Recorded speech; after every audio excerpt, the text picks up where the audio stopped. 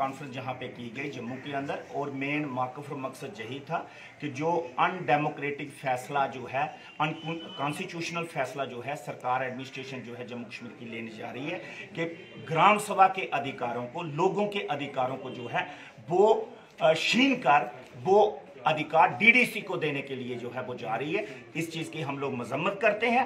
اور جموں کشمیر کے اندر ہماری یہ مانگ ہے بطور president all Jammu Kashmir panchayat conference کہ فوری طور پہ جموں کشمیر کے اندر پنچوں سرپنچوں کے پنچایتوں کے الیکشن جو ہے وہ کروائے جائیں تاکہ یہ ڈیموکریٹک جو سیٹ اپ ہے، یہ مکمل طور پہ آگے جو ہے چلتا رہے۔ اور دوسرا، جموں کشمیر کے اندر بطور پریزیڈنٹ ہم نے ہماری پوری ٹیم نے یہ بڑی مشقت کی، محنت کی کہ جہاں سٹیڈ الیکشن کمیشن جو ہے وہ بنایا جائے، جہاں مقرر کیا جائے، وہ ہوا بھی۔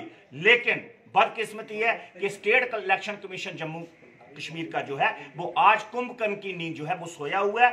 وہ اپنا جو ان کو کرنا چاہیے کام، وہ نہیں کر رہے۔ آج وہ سرکار جو چاہتی ہے، وہی جہاں پہ ہو رہا ہے۔ یہ بالکل غلط ہے۔ جیسے پہلے بھی ہم لوگ سیاسی پارٹیوں کے، سیاست کے شکار ہوتے رہے ہیں، ویسے آج بھی ہم نے دیکھا وہ ہو رہے ہیں۔